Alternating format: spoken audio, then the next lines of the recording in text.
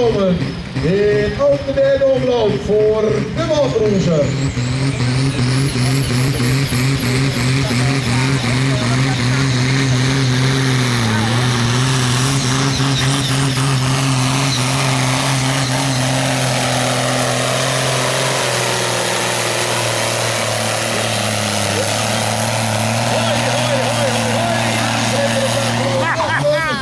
zien. Ah, met twee vingers in de neus, Frederik, of niet dan?